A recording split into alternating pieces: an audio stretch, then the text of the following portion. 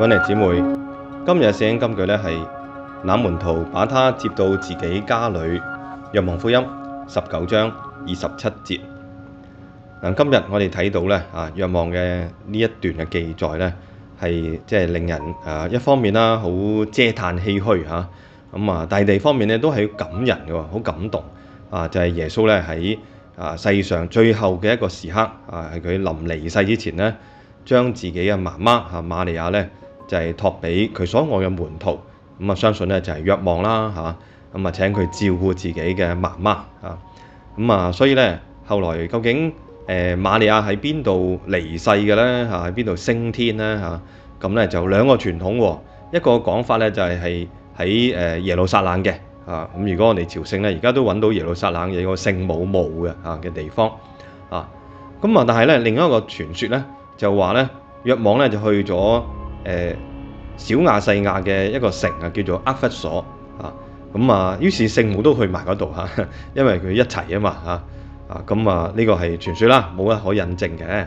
咁、但係咧話嗰個門徒啊，將瑪利亞接到自己家裏咧，嗰、那個邊個門徒嚟嘅咧？我哋就話係約望，但其實咧，約望自己啊喺第十三章開始咧，佢就隱沒咗佢嘅名字啊，只係講咧。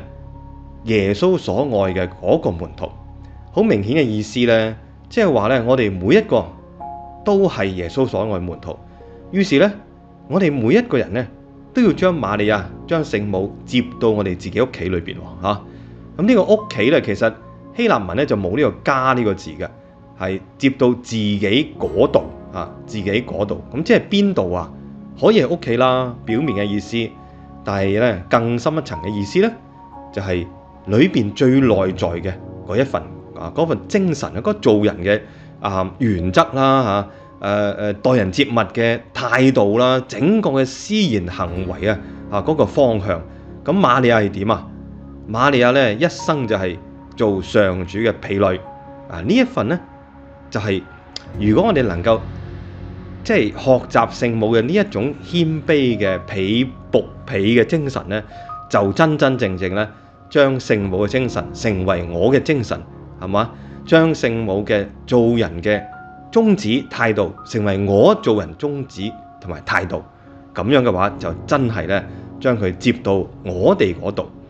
各位兄弟姊妹，咁等我哋咧喺呢個聖母月即將結束嘅時候咧，都認真嘅、坦誠嘅求天主俾恩寵我哋，將瑪利亞接到我哋嗰一度。那門徒。把他接到自己家裏，《若望福音》十九章二十七節。